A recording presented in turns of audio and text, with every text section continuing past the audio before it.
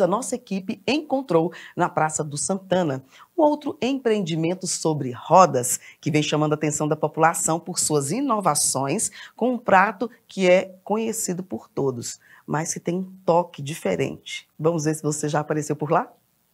O negócio começa pelo seguinte: eu tinha uma moto, tinha uma moto uma Boulevard 1500 e precisava de empregar. Eu vou fazer dessa moto que é uma curtição e vou empreender. Eu achei o trailer o cara trocou no, na orelha, a moto valia 37 mil, o trailer valia 40.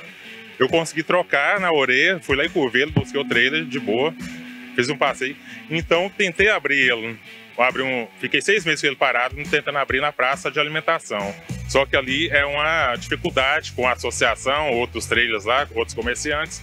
Então eu fui no secretário de Cultura, troquei ideia com ele, vou lá abrir lá no Santana. Ele pode abrir sem dificuldade nenhuma. Eu fazia Uber ano passado, e carreguei uma jurada da feira gastronômica.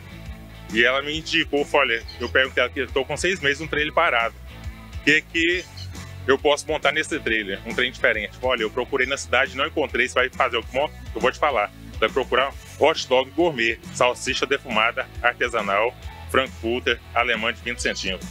Corri atrás, achei algumas, alguns fornecedores, mas essa é espetacular. Ficou cara. Então tá um lanche diferenciado, tô fazendo a diferença. Tem hambúrguer também e tem alguma coisa que vai acontecer aí no seu trailer? Sim, o Dia Mundial do Hambúrguer será dia 28, na terça-feira.